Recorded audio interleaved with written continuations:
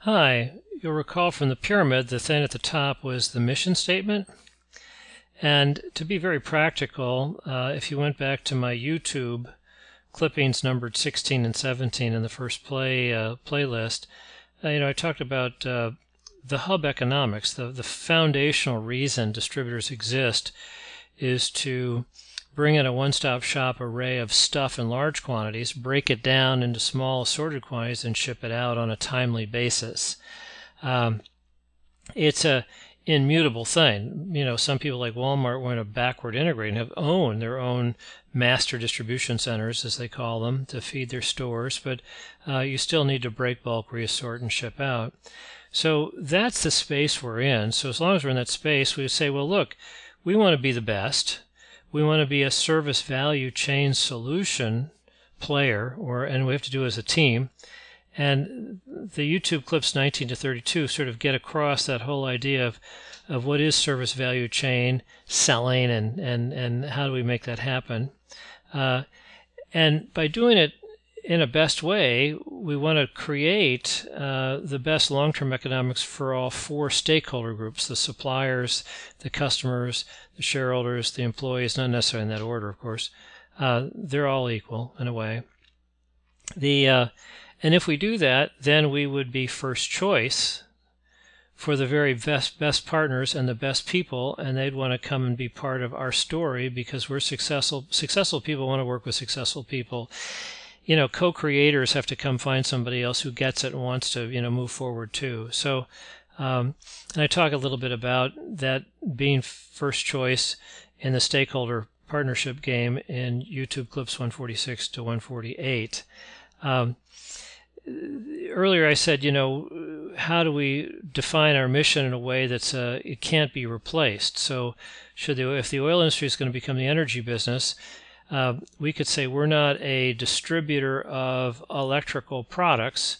We could say we are a service value solu- chain solution team uh, that uh, w- in the electrical, you know, product ecosystem, you know, or some some vague thing like that. But um, uh, you know, this this is this is this is you know starting to take the these vague mission ideas like we want to be a great company and a good place to work and what's that mean? Um, so how do we start to put more specific phrases in there? And then if you go to my youtube clips boy you go very deep and this really starts to mean something to people particularly been through it five to 50 times.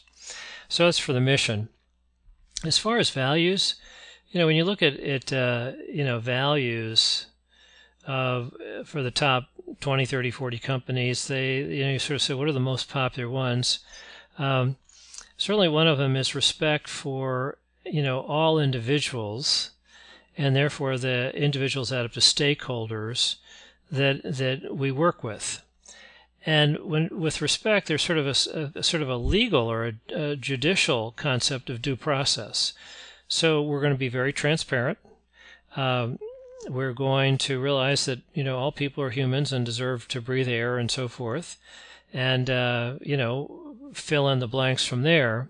Um, but if, for example, we were going to fire somebody, uh, maybe an acid test would be well, if we if somebody has to be let go from the company, um, they're going to give fair warning. They're going to give you know good intervention you know efforts, and when they go, their three best friends, if they do have three best friends, will say, well, you know, unfortunately, it had to be because these people, in a sense, fired themselves. They did not live up to the values, the standards of the company.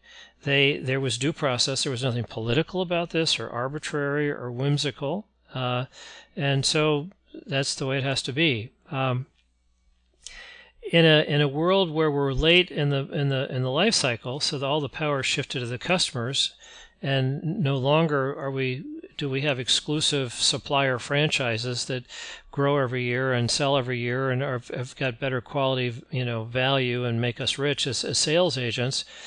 Now we have to be in the demand replenishment game. Um, so we want to be customer centric and we want to be service value innovators to the point where we say, you know, we're just simply the best. We we provide measurably the best total economic value solution. So let's get married. Uh, so that would be a, a, a, several values linked together: customer centric, innovation, and an absolute best economic value. Uh, obviously, to if we respect all individuals, you know, most individuals like to be better and be all they can be. So we have to say we believe in continuous learning and improving at the individual level, mastery. There's some YouTube clips on that. Pushing the wheel of learning to fail forward fast and so forth. Uh, you know, corporate wide in a sense. So um, that that would be a we want to be a learning organization would be another key value. Uh, you can you can you can add to the list. Again, I'm just trying to give you some specific uh, uh, traction to get you some some depth and and and uh, uh concrete uh, to these these abstractions. Uh, let's stop here. We'll move to the next slide and and move on down that pyramid of of sub elements. Thank you.